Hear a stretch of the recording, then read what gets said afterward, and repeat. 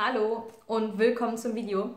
Ich habe heute ein 3 in 1 für euch, 2 in 1, wie man es sehen möchte. Ich habe nämlich ein Currently Reading, eine aktualisierte Leseliste für den Herbst und Neuzugänge für euch.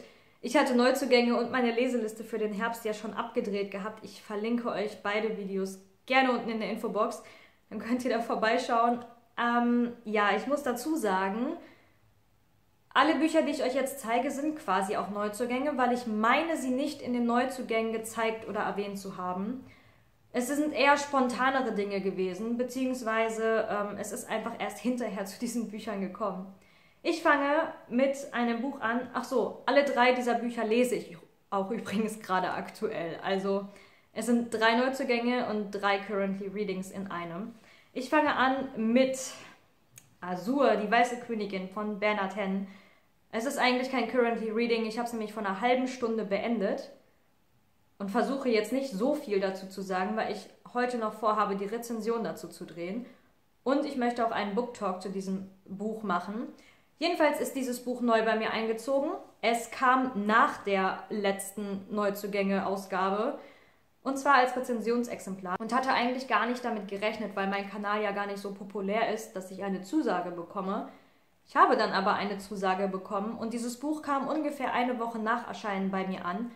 Ich habe es auch direkt angefangen und zwar mit Glacy Naylor. Ich verlinke euch ihren Kanal auch unten in der Infobox.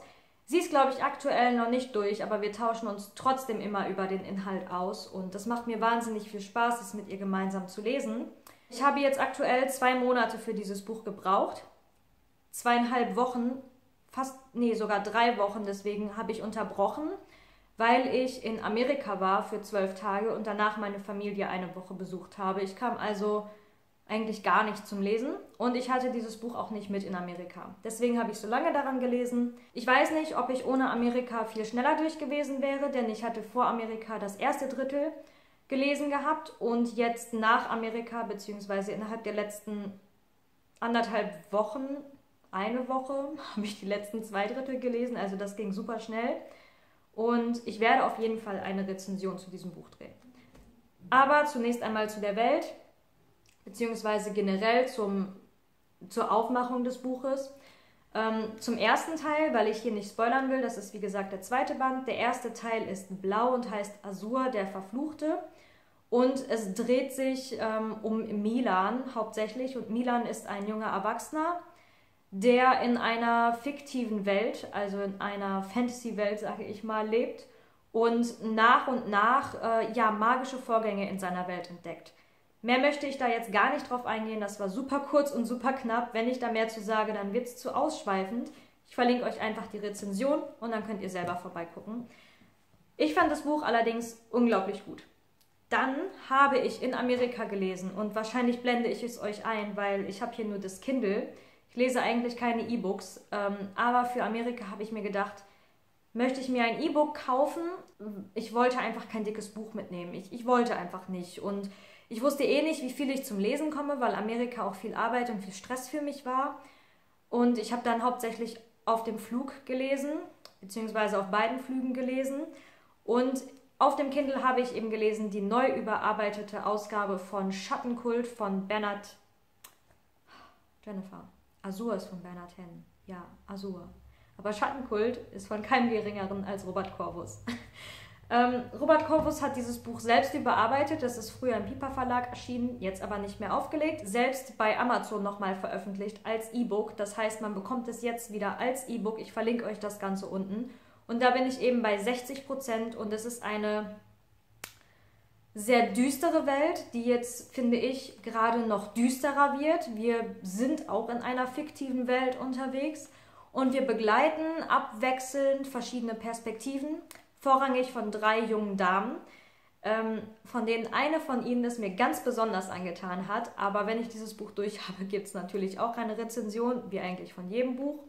Wie gesagt, wir befinden uns in einer fiktiven Welt, genauer gesagt sogar an einem, Schat an einem einzelnen Standort. Und ja, diese drei Mädchen ähm, finden langsam zueinander und planen oder wollen etwas nicht so Nettes durchziehen, um das mal freundlich zu formulieren. Ich bin unglaublich gespannt, was da noch auf mich zukommt. Ich habe ähm, ja etwas Düsteres erwartet und ich wurde bisher überhaupt nicht enttäuscht. Ich kann mir aber ehrlich gesagt überhaupt nicht vorstellen, in welche Richtung dieses Buch geht.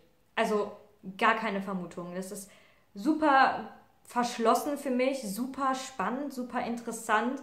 Einerseits so greifbar und andererseits so schemenhaft, dass ich überhaupt nicht weiß, wo das Buch mit mir hin will. Aber das macht es für mich noch spannender und deswegen gefällt mir Schattenkult im Moment sehr gut.